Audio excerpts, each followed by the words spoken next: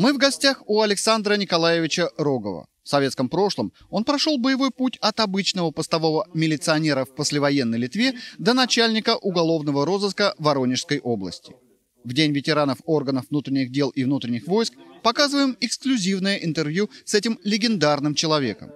О нем мы уже рассказывали. Именно он раскрыл знаменитое на весь мир дело Ойстраха. Именно под его руководством Воронежский уголовный розыск поднял планку раскрываемости убийств на сумасшедшую высоту – до 96%.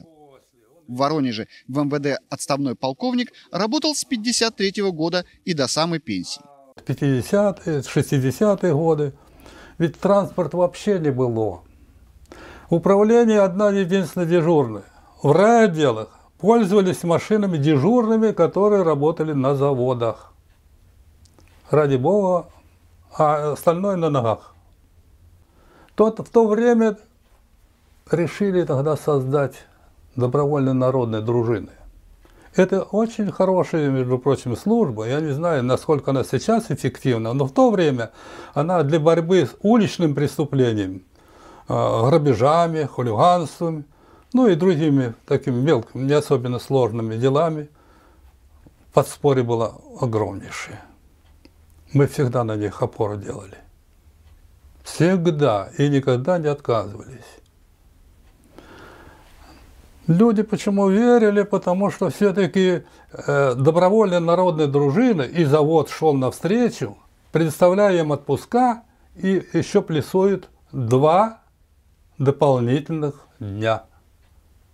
Да, это... Это поощрение большое, она привлекала и тем более авторитет создавала. Тогда я так понял, что именно вот с помощью добровольных народных дружин да, сбили... Да. Э, Совершенно волну, вот эту вот самую большую волну. Ну, народ не выходил из дома, говорю, амнисия. Это же там и рецидивисты. И вообще люди, которые уже, они не могут физически работать на заводах или где-то в другом месте. Они привыкли совершать преступления. Он только вышел через 3-5 ну, 10 месяцев максимум обратно идет э, в места лишения свободы. Ну, ведь я, я вот говорил вам, что отменены карточная система, а все-таки у нас за ситцем и продовольственных магазинах очередят занимали почти с вечера. Было и такое. Конечно. С вечера. Ну, тогда не обуть, не одеть, не покушать. Э, такая обстановка, она, конечно, создавала сложности. А этими сложностями воспользовались вот э, люди, которые способны совершать преступления. Или, так сказать, это их ну, занятия основ основ. У них нет ни сажи, ничего. Когда я пришел в уголовный розыск, не просто в уголовный розыск, а на должность начальника отдела – уголовного розыска, у областного аппарата, конечно. А, очень плохо складывалось самой, вот в самом управлении, между отделами дознания, научно-техническим отделом, а, БХСС. Вот одна из задач моих была, как бы вот сблизить, как бы ближе нам сойтись не делить, что это я совершил, то есть раскрыл преступление, а тот говорит, это я. То есть вот этого деления не должно быть. У меня очень хорошие тогда связи были со следственным отделом, с Комитетом государственной безопасности, уже по прошедшим делам и по вновь уже возникшим, уже будучи я начальник уголовного розыска, я тоже воспользовался и техникой, и силами, а, особенно тогда было сектантство, у нас занято вообще по Воронежской области.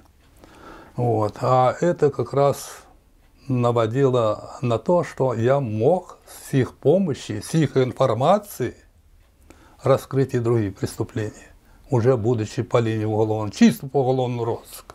То есть народ надо было объединять? Да, службы – Служб, ну, службы. Службу нужно обязательно объединять. В един не надо делить.